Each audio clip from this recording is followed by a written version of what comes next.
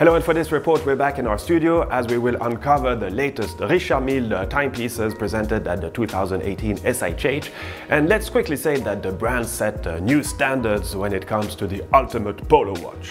A few years ago, Richard Mille produced the RM53 for superstar Argentinian polo player Pablo MacDonough.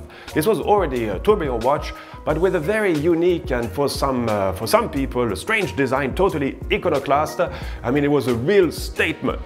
Its main design particularity was that the dial was protected with this kind of titanium hood and the hour and minute dial was in a certain way facing you as well as the tourbillon itself.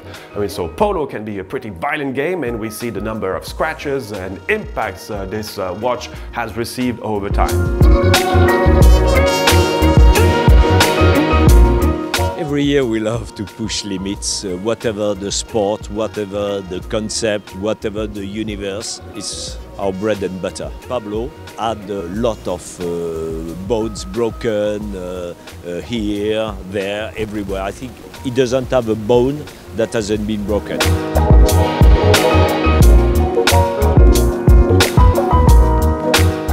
Was to produce a watch that could take in the same beatings and shocks, even more actually, and the result is this new RM53-01.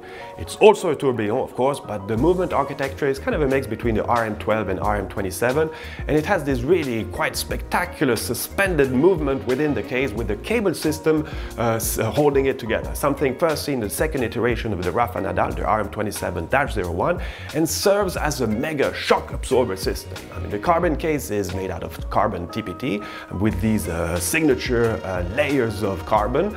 Uh, naturally, it's pretty light. But the main characteristic resides in the sapphire glass protecting dial, as Richard Mille developed a technology seen with armored glass, but adapted to thin dimensions we're accustomed to in watchmaking.